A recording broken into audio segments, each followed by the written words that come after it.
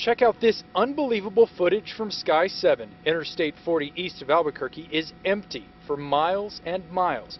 But before you think there's no traffic, take a look at this. Hundreds of 18 wheelers parked on the interstate. The highway here in Albuquerque is clear, and the heat from running engines is likely to keep the ground under the trucks from re-icing. But New Mexico police say that since Texas and Oklahoma shut down I-40 travel across their states due to both whiteout conditions as well as tornadoes, that means New Mexico can't let drivers go that direction either.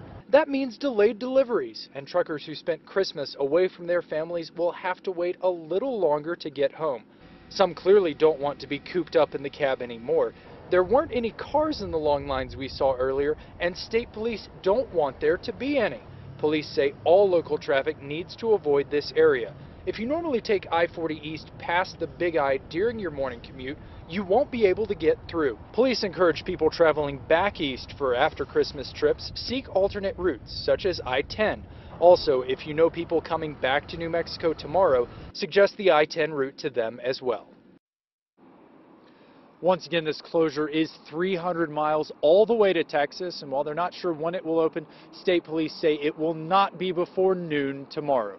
Reporting live at Louisiana and I-40, Robert Richardson, KOAT Action 7 News. And it's not just I-40. The Department of Transportation website here shows half of the state is experiencing closures. Take a look at all that red around Carlsbad and Artesia. It is closed.